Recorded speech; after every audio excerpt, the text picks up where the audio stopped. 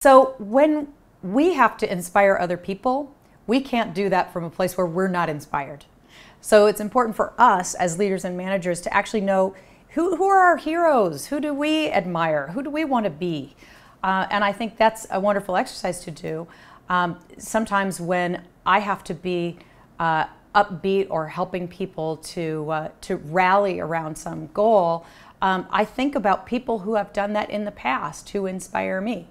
Um, and I'd really ask you to think right now about a leader who has inspired you.